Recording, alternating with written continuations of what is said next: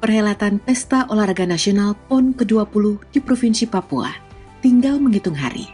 Berbagai persiapan terus dilakukan oleh panitia besar PON Papua.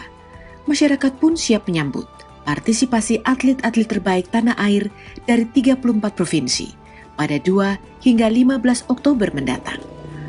Bupati Jayapura Matius Awaitau ditemui Kamis 17 Juni di Jayapura mengatakan pemerintah Kabupaten Jayapura selaku salah satu tuan rumah penyelenggaraan PON ke-20 optimistis akan menjadi tuan rumah yang baik.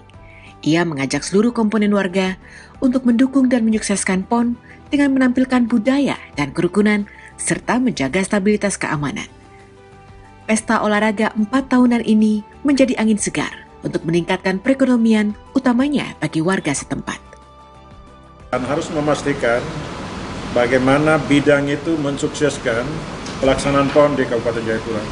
Dan saya yakin PON akan berlangsung di Provinsi Papua.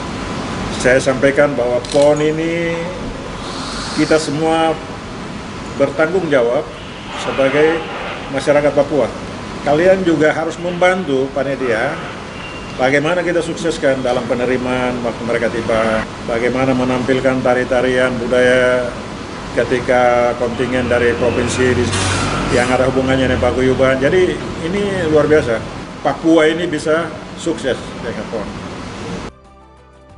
Sementara itu, salah satu tokoh agama Jayapura, Faisal Saleh, menambahkan di tahun 2021 ini terdapat dua event nasional yang diselenggarakan di bumi Cendrawasih, yakni Pekan Olahraga Nasional ke-20 dan Pekan Paralimpik Nasional Peparnas ke-16.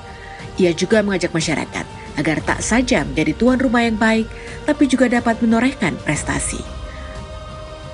Tentunya bukan hanya e, di PON itu ada slogan yang mengatakan kita orang bisa, ya, tetapi itu bahagian daripada harapan dan doa masyarakat e, semua yang ada di Papua ini bahwa bukan hanya kita menjadi tuan rumah yang baik, tapi e, kita mengharapkan Papua ini bisa menjadi juara dan berprestasi.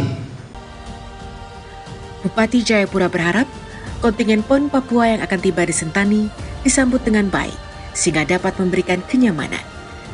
Adapun kontingen PON akan tiba melalui Lanut Silas Papari, bukan melalui Bandar Udara Sentani, agar kedatangan kontingen tersebut terpisah dari penumpang umum.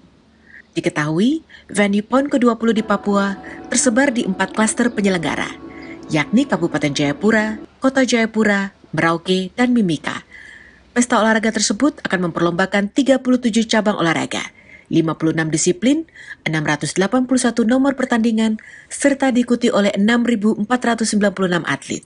Dari Jayapura, Papua, Laksa Mahendra, Kantor Berita Antara, mewartakan.